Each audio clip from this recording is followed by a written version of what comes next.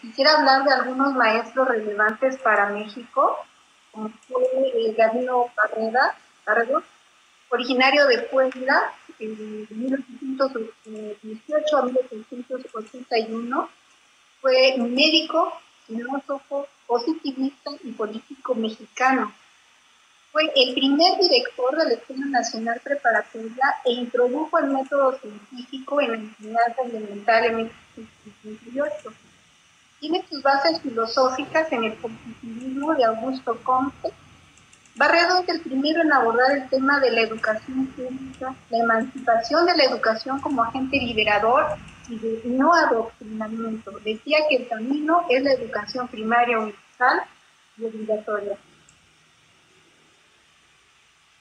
Otro maestro muy importante en México fue eh, Justo Sierra Méndez, de 1848 a 1912, originario de Campeche, escritor, abogado, historiador, periodista, poeta, político y filósofo mexicano, fundador y promotor de la Universidad Nacional Autónoma de México.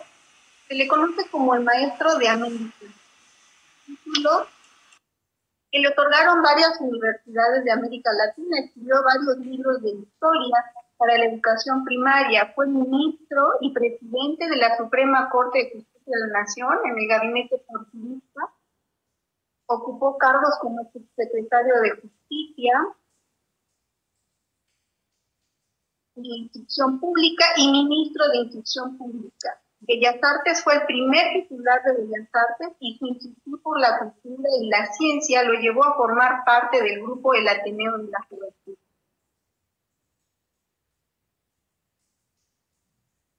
Justo Sierra tuvo a lo largo de su vida un cambio de postura filosófica, se alejó del positivismo optando más por un enfoque humano. También tenemos a otro reconocido maestro, que es eh, José Vasconcelos Calderón, de 1882 a 1959.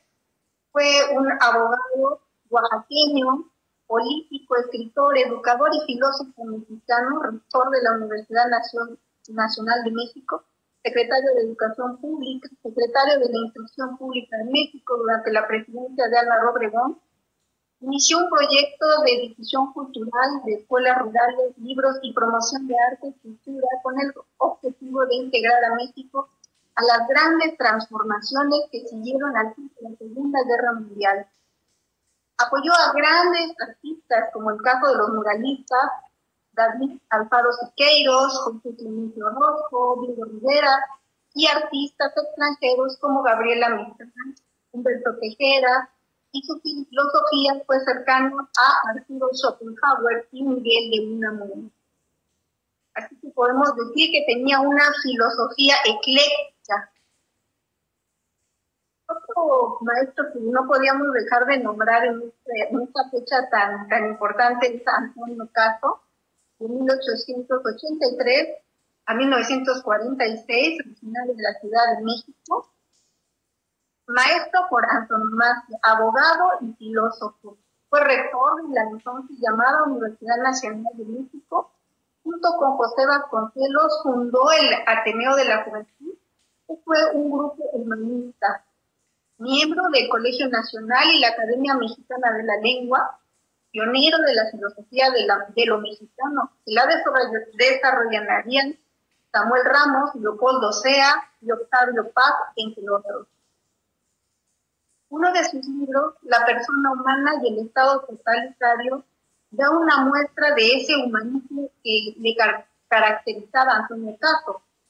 Obras completas del maestro Caso fueron coleccionadas en 12 volúmenes por la UNAM Rosa Krause y Carlos Valdés. Eh, Caso fue suscitador constante de inquietudes filosóficas, expositor y divulgador de elocuencia legendaria y conciencia nacional. Por último, voy a mencionar a Alfonso Reyes Ochoa, 1889 y 1959, abogado, filósofo, poeta, escritor, humanista, sus distinciones, eh, Premio Nacional de Ciencia y Arte, Literatura y Lingüística, doctor honoris causa por la Universidad de Princeton, la Soborna, Universidad de California, Berkeley, y promovió la fundación de sólidas instituciones dedicadas a la difusión del conocimiento. Como embajador de México en Argentina, impulsó la obra de Jorge Luis Borges. Bueno, un aspecto eh, que comparten la mayoría de estos maestros que yo comenté, pues son abogados y bueno, me siento identificada porque, pues como ustedes saben, yo soy abogada y, me siento muy contenta de, estar en esta fecha y platicando contigo y haciendo una remembranza de estos grandes maestros que han influenciado y han eh, hecho una brecha en México muy importante donde han eh, preponderado la cultura, el arte y mm, sobre todo al, final de, la lista de los maestros que nombré, su aspecto humanista. creo que, es algo eh, fundamental en la carrera de todo maestro y también quisiera comentarles de un documental se llama El Sembrador, si no lo han visto, véanlo, está eh, increíble. Eh, se trata acerca de un maestro rural dirigido por Melissa, eh, se llama Melissa Elizondo, fue la directora, tuvo la licenciatura en Ciencia de la Comunicación, hizo su especialidad en la UNAM este documental fue acreedor a muchos premios de esta índole, incluyendo el Festival de Michoacán, y trata el tema precisamente del maestro rural, todas las vicisitudes que, vive el maestro en ese ambiente con, con niños eh, en, el ambiente rural, en el campo, que tienen eh, otra visión distinta a a los niños de ciudad. Bueno, es una obra preciosa, una obra eh, cinematográfica, eh, un documental que no debe perderse acerca de, la actividad del maestro en la actualidad, un maestro rural. Bueno, por último, quiero comentarles acerca eh, de este libro que se llama Vidas Paralelas, escrita entre varios coordinadores, maestro Rubén Darío Solano, Rafael Herrera Álvarez, José de Jesús Valdovinos Capistrán, Rebeca Reyes Archundias, Lorenzo Alberto Guzmán Barraza. Este libro habla acerca de dos maestros. Uno de ellos es mi abuelo, el profesor eh, don Demetrio Núñez Velasco. Para los que viven en Oaxaca, en la ciudad de Oaxaca, bueno, algunos de ustedes lo habrán llegado a conocer, es muy eh, reconocido en su tiempo y fue un catedrático tanto de primaria como en la Universidad de, la UPN y habla acerca de, su vida, de otro gran maestro también en Michoacán, se llama Hilario, que también este, Hilario Reyes Garibaldi. Son dos maestros muy importantes dentro de, la vida del magisterio en México. Tiene pues varias fotografías de, mis abuelos. Aquí están mis abuelos. La profesora Rosaelia eh, Núñez Solano Solano de Núñez, perdón, eh, ella fue maestra de educación preescolar eh, en el centro de la ciudad de Oaxaca, cuando todavía no había jardines de niños, ella fue junto con otras eh, maestras, las que estuvieron luchando porque les entregaran un terreno y la construcción para un jardín de niños y afortunadamente el, gobernador en esa época pues autorizó esto y se construyó un jardín de niños. Ella fue maestra en toda su vida y mi abuelo pues también fue catedrático, maestro.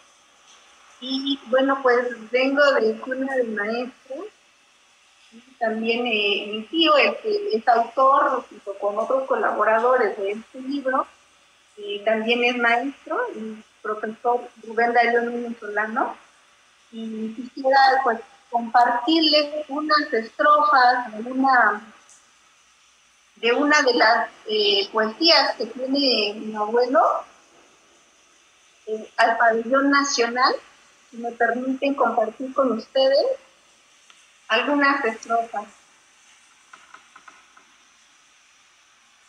El México libre te hizo como escudo y norma, y aunque sufriste graves reveses de fortuna, te levantaste grande y sublime cual ninguna. En las épicas jornadas de las guerras de reforma, los justos varones de libertad de forma, destruyendo falacias religiosas sin pegar al vida. De su bello intelecto claro y luminoso surgió la Carta Magna, la ley fundamental que es fuente del derecho y del pensar liberal.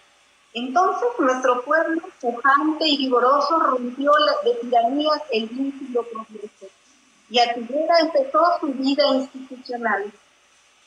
Y una vez más, la injusta invasión extranjera, violando los derechos internacionales, nuestro suelo transpuso con fines imperiales. En Querétaro, en Puebla y en La Carbonera, se alzaste triunfante Gallarda Severa, castigando al injusto y a todos los desleales es emblema del progreso y la hidalguía, en los que hoy tus hijos se encuentran empeñados, ideales pacifistas sustentados en la jurisprudencia de hoy en día, para implantar la paz mundial y la armonía, en que altos simbolismos se hayan inspirado. Unos fragmentos de, esta preciosa poesía, él me encantaba escribir poesía, el pabellón nacional, Oye, que, eh, la estoy escuchando, qué increíble. Tanta, tantas cosas que tenemos a veces guardados eh, o guardadas y que forman parte de la historia de Oaxaca. Esto que nos estás contando, eh, qué bueno que lo compartes. Estas últimas letras que nos compartiste, de mucho, mucho significado, ¿eh? Bueno, a él le encantaba escribir y escribió muchas poesías um, a Oaxaca incluso y bueno, pues ahorita compartí esta. Eh, el libro también vienen varias entrevistas que le hicieron en el periódico Imparcial. Eh, también estuvo en un evento cuando vino el Papa, él fue el que abrió el, homenaje que se le rindió. Y bueno, pues en muchos eventos estuvo presente mi abuelo como pues, maestro de ceremonia por ser un personaje conocido en su época. Oye, ¿a ti no te dio por la docencia? Sí, pues eh, soy maestra en Derecho. Ajá. Tengo, en Derecho, soy el impartido a nivel secundaria, preparatoria y universidad. Oye, ¿dónde, dónde, dónde quedaron estos tesoros, así les digo, eh, de profesores, hombres y mujeres? Esta vocación, ¿no le importaba irse a un profesor quedarse una semana en la comunidad. Hoy platicábamos con otros amigos, decía, bueno, ahí el pueblo les daba de comer, les daba dónde quedarse. Había esa, esa entrega, esa a la patria, a, la gloria de la educación. Hoy difícilmente lo vemos. Bueno, te puedo decir que, que sí existe mucha gente aún se entrega a sus clases. Conozco muchos maestros, tanto en la ciudad de Oaxaca como en México, a, grandes maestros que, que admiro profundamente uno de ellos decía que él era capaz de pagar por dar clases en vez de que le pagaran a él, ¿no? Este, en mi caso siento la vocación enormemente, disfruto mucho dar clases. también mi familia, mi mamá también es docente, fue docente, porque ya está jubilada, pero ella tenía que trasladarse a poblaciones donde no había eh, transporte viajaba diario horas en, camionetas sin, estar así cubiertas. llegó a maltratar su vista, realmente mi mamá, mi abuelita también. Oye, ¿y cómo, cómo, la familia? Tú en, tu caso, ¿cómo te eh, acompañabas a, tu mamá? ¿Te quedabas? Eh, porque muchos maestros vivieron ese tipo de situaciones. Y bueno, en ese tiempo yo apoyé a mi mamá, eh, ella daba clases en Cuchitán y yo estuve con ella un tiempo allá y la apoyé lo que pude, ¿no? Y ella tenía que irse a, trabajar en esas condiciones y sufrieron estragos sus, sus ojos por el polvo que se levantaba. Muchas de las escuelas donde ella daba pues no tenían piso, entonces era eh, de tierra, ¿no? Y con techo de lámina, con calores muy fuertes, pero era más el amor y la entrega a los niños. Bueno, yo, yo como compañera de mi mamá tuve oportunidad de estar en salones de clase con ella desde chica, igual con mi abuela, con mi abuelo en, en el kinder y con mi abuelo y con mi mamá. Eh, estuve impartiendo junto con ella cursos del agua cuando yo todavía era estudiante. Íbamos a las escuelas primarias a impartir cursos acerca de, eh, cómo cuidar el agua, porque pues como es un problema que ya viene aquejándonos desde hace tiempo en la ciudad de Oaxaca y se ha ido acentuando, pues estuvimos impartiendo varios cursos acerca de esto y, estamos cuando cuando empecé a dar esos cursos, pero me, me di cuenta de, que esa satisfacción que se siente eh, estar cerca de, los alumnos y de dejar una semilla dentro de cada una de esas personas es algo que no tiene un precio, que lo puede decir cualquier maestro con vocación. Oye, pero además, perdón que te interrumpa, eh, el reto es que hablamos de hace algunos años, y más siendo mujer, ¿no?